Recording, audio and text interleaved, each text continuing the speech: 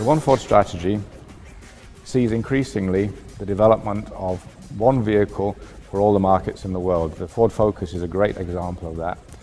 And we have announced our intention to produce the eventual successor for the Kuga in Europe and for the Escape in North America as one global product. And the vehicle that we're showing in Detroit in January is our vision of how a global crossover vehicle could look like.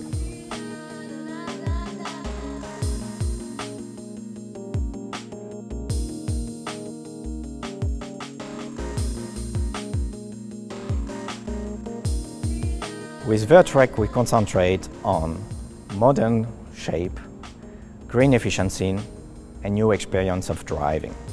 We focus our work on modern proportion in order to get sleek design with great inner package. The design is much sleeker than the current Kuga and very much sleeker than the current Escape. We believe that the future of design for these type of vehicles will be all about demonstrating efficiency and sleekness.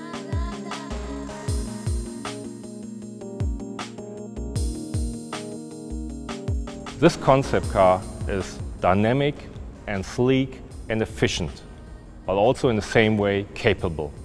The exterior design team executed that by communicating a really sleek profile, a lot of muscularity in its forms, but also by using aero-efficient materials and parts.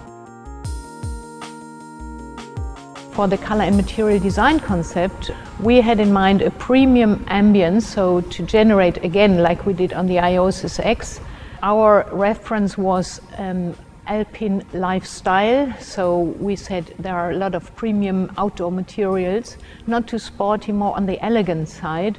And uh, we um, combined that with um, handcrafted materials. The color family that we identified is cool um, but warm, has a warm feel about it.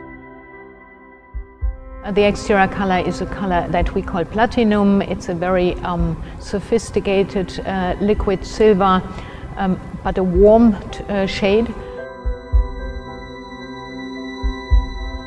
The instrument panel is a wing-like um, upper IP.